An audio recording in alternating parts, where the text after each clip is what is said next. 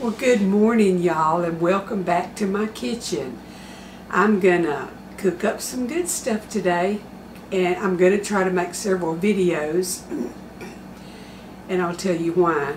Uh, tomorrow, which is Tuesday, my husband has an appointment with the cardiologist. He's been having a few issues when he exerts himself. He gets a little bit out of breath. So, anyway, we're going to the doctor, and depending on what we find out, I may not be here to, you know, if he has to have some tests, I may not be here.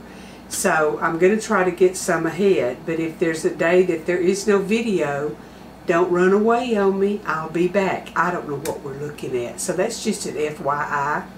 I hope everything's fine and he does have a pacemaker defibrillator and maybe they just need to up his pacemaker. I don't know. But anyhow, um, we'll see what we find out. But just to let y'all know, if I'm not here, that's probably what's going on.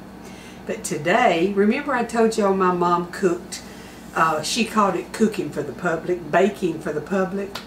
And she always made the gingerbread that one of our banks in town would serve. During the holidays, they served gingerbread and wassail. She'd make a huge, like a 24 inch square pan and cut it little one inch pieces and that's how they served it with wassail. But today I'm going to make it in a 9 by 13 and I have already sprayed it with Baker's Joy. Now you can use Crisco and flour to, to grease and flour your pan if you want to or lard, whatever. But I found Baker's Joy and oh my goodness, I love it. It is uh, in a can like your Pam, but it has the flour mixed with it. So I'm going to get the camera over to the mixer where y'all can watch me mix up this gingerbread and then my house is going to smell heavenly and we're going to have a good treat that's not just syrupy sweet but it's good and uh, it makes you feel like it's fall because it has the smells of the fall and all the spices. If you make the recipe, let me know what you think about it. It's been in our family since probably 1965 at least. Mother started baking for the bank. So, um, and for those in the Cleveland area, back then it was former State Bank. It has a new name now. I don't even know what its name is. But anyway, come on over to the mixer and see if you can learn how to make gingerbread. Okay, I'm glad y'all just moseyed on over to the mixer with me.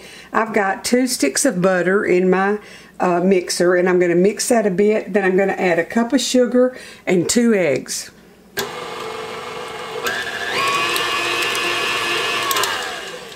My butter's been out a while so it's nice and soft. There's my cup of sugar.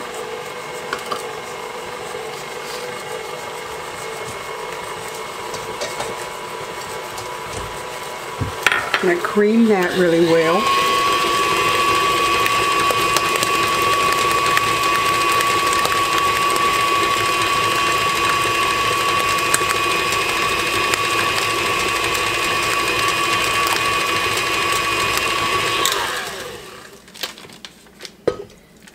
Get that down and I'm going to add two eggs.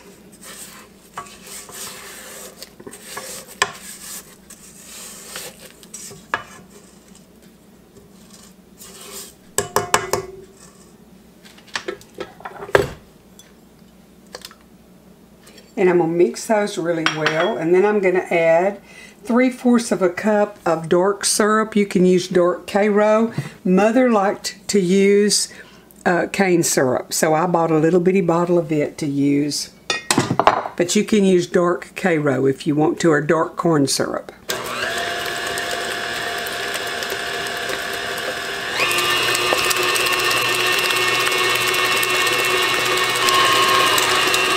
Okay, I'm going to get my corn syrup in, or my uh, dark syrup. Mine's not corn syrup.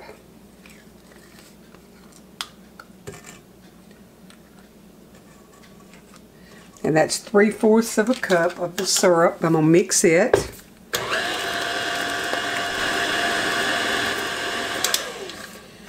Okay, the next thing I'm going to add is my spices. A teaspoon of cinnamon, a half a teaspoon cloves, two teaspoons of ginger, and one half teaspoon of salt.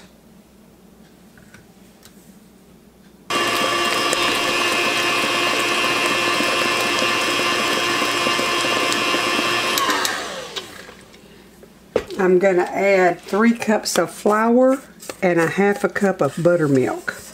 And the last thing we're going to do is we're going to mix, we're going to pour a half cup of boiling water over two teaspoons of soda and add that in and uh, beat it till it's smooth and it'll be ready to put into the oven. I'm just kind of cleaning it up a little bit, making sure everything gets incorporated.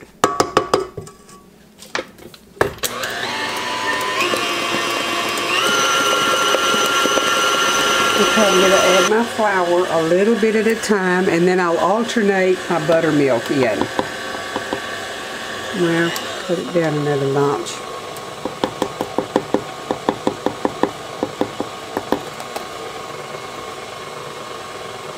Half cup of buttermilk.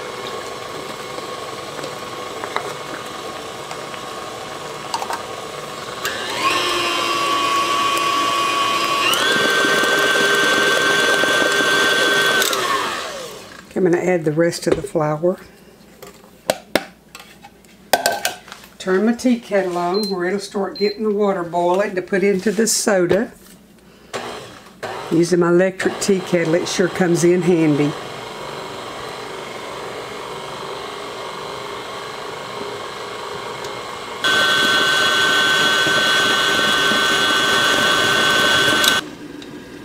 Okay, my water's boiling.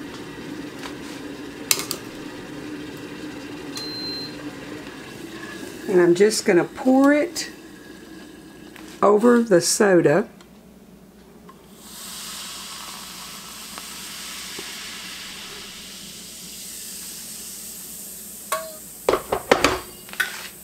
Y'all see it foam up a little bit?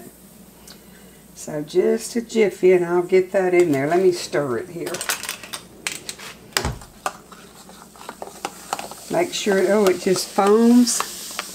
Make sure it all dissolves. And while it's hot, you don't have to let it cool. You go ahead and mix it into your batter and mix it all until it's very smooth.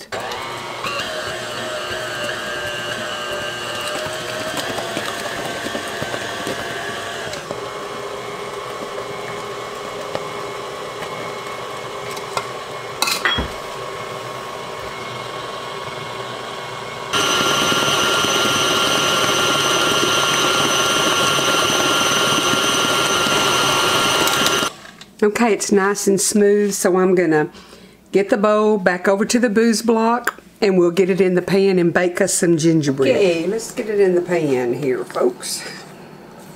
It's so smooth and pretty and I'm like a kid. I have to taste of it and it just tastes so good.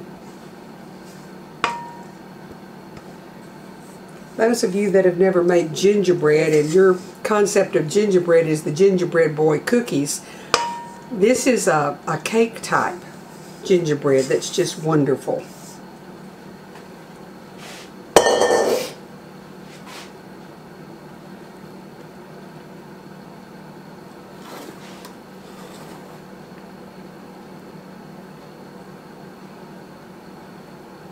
You could do this in, in like muffin cups. I don't know how many it would make.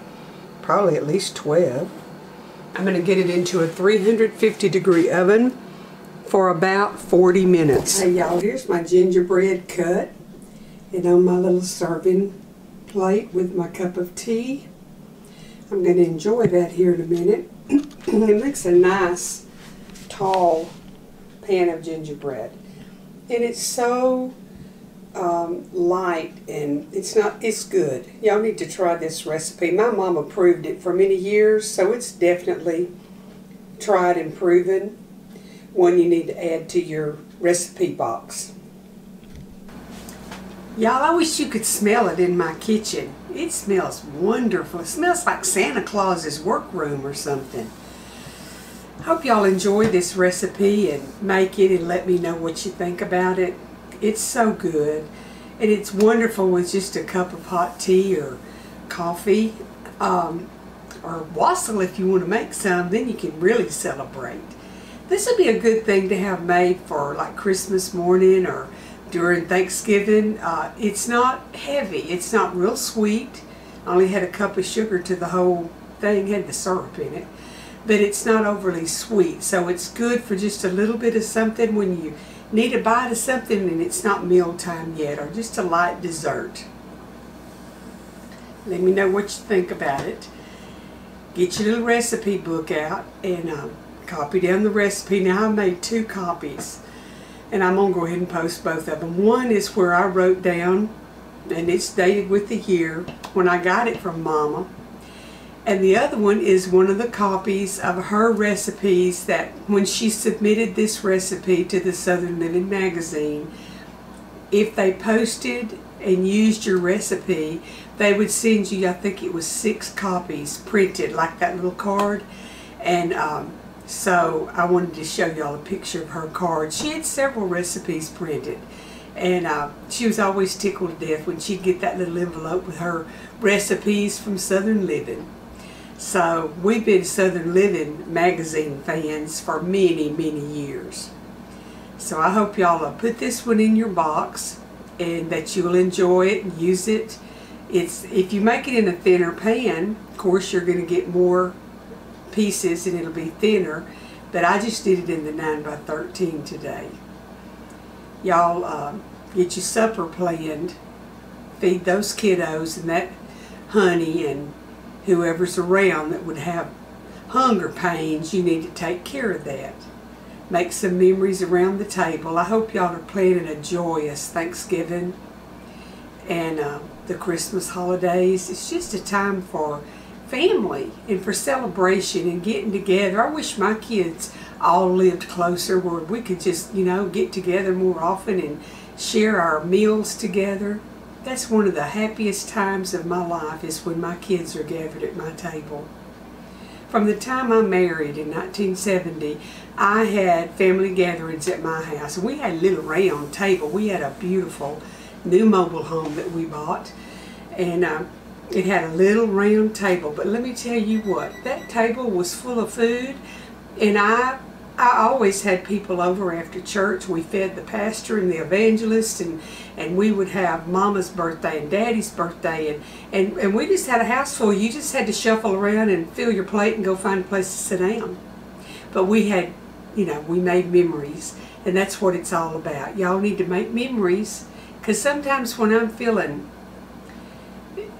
lonesome, I can think back over all those happy times and I'll say, Troy, you remember blah, blah, blah. And then we, man, we can remember some fun times. Make some fun memories that you can reflect back on. Because you know what? You might be a lot younger than me, but one of these days you're going to be as old as me if you live. And you're going to need some memories to look back on. Y'all have a blessed day. Come back here tomorrow and we'll learn something new. I hope I'm here every day, but remember what I said at the beginning of the video. It just depends on what the doctor says about Troy. So we'll play it by ear. I may have to maybe just stretch my videos that I have made out to every other day. But just watch, tap that bell, and they'll notify you when one's uploaded. And um, I'm here to stay. I just might hit and miss here in the next few days. I just don't know. The Lord bless y'all, and I'll see you again.